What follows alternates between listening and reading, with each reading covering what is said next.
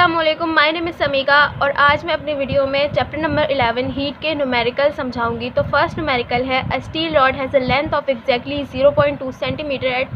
30 degree centigrade what will be the length at 60 degree centigrade coefficient of linear expansion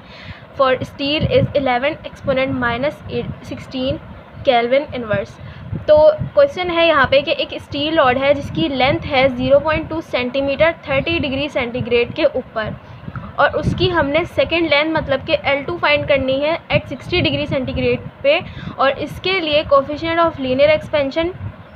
alpha हमें दिया हुआ है 11 exponent minus sixteen kelvin inverse तो data में सबसे पहले हम लिखेंगे L1 जो कि हमें 0.2 सेंटीमीटर गिवन है T1 जो 30 डिग्री सेंटीग्रेड है और T2 जो 60 डिग्री सेंटीग्रेड है और L2 जो हम फाइंड करेंगे।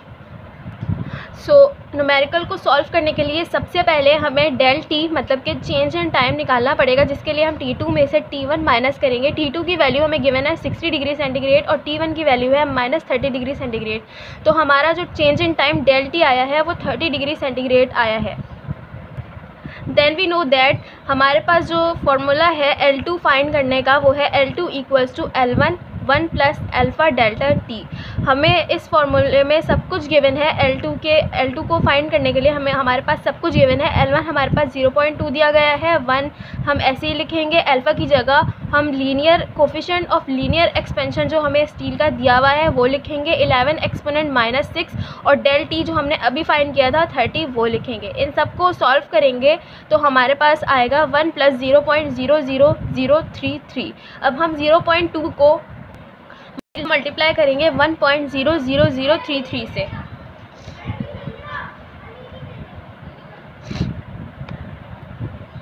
आंसर आया zero point two zero zero six six तो हमारी एल टू की जो वैल्यू आई है, वो zero point two zero zero six six centimetre आई है।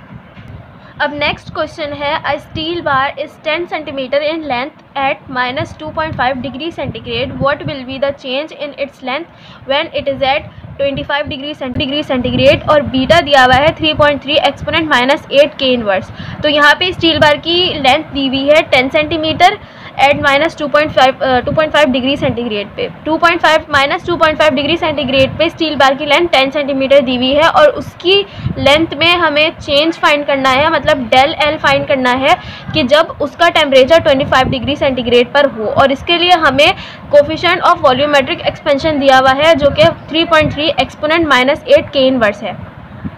डेटा में सबसे पहले बीटा की वैल्यू है 3.3 point three exponent minus eight K inverse del L हमें फाइंड करना है टी वन हमें minus two point five degree centigrade given है T two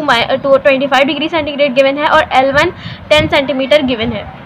क्वेश्चन को सॉल्व करने के लिए यहाँ पे भी हम डेल टी फाइंड करेंगे मतलब चेंज इन टाइम फाइंड कर फाइंड करेंगे change in temperature sorry change in temperature find करेंगे डेल टी तो टी टू हमारे पास ट्वेंटी फाइव डिग्री सेंटीग्रेड हमें गिवन था और उसमें से हम माइनस करेंगे टी वन की value minus two point five अब हम टी टू में से टी वन माइनस करेंगे ट्वेंटी फाइव माइनस फॉर्मूले का और minus two point five T one की वैल्यू तो del T equals to twenty five plus two point five minus minus plus हो गया. और डेल टी की वैल्यू आ गई twenty seven point five degree centigrade और हमें जो है, हमें ये पता है कि हमें बीटा की वैल्यू गिवन है मतलब कि हमें कोफिशेंट ऑफ़ वॉल्यूमेट्रिक एक्सपेंशन दिया हुआ है और हमें लीनियर एक्सपेंशन का कोफिशेंट नहीं दिया हुआ। तो जैसे कि हमें पता है कि beta equals to three alpha with the help of beta हम एल्फ़ा भी फाइंड कर सकते हैं।